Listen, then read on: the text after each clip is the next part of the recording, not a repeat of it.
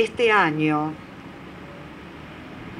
nos sorprende gratamente y nos da satisfacción comprobar que nunca más se ha hecho carne en amplios sectores de la población.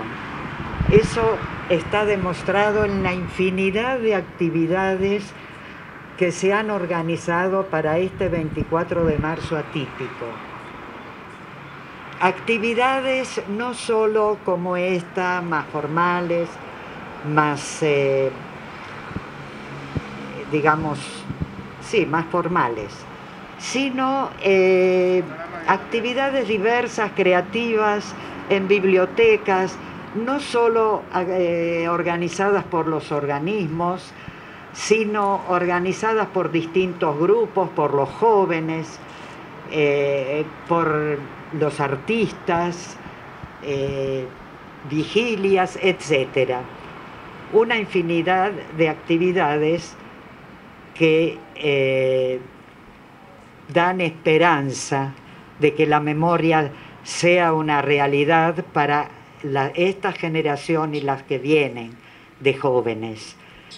Eh, pero yo quería reflexionar sobre eh, qué hacemos solo recordando las aberraciones, los crímenes atroces de la dictadura, eh, las desapariciones, las torturas, las muertes.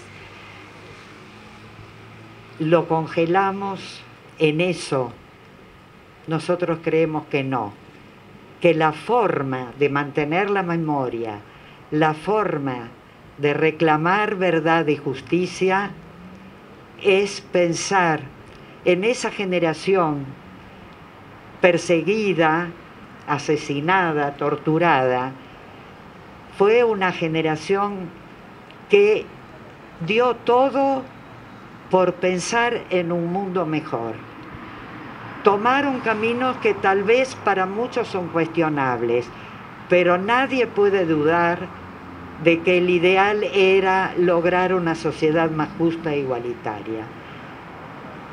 Entonces tenemos que honrar esa memoria siguiendo en el reclamo, siguiendo en el reclamo de lo que ellos querían.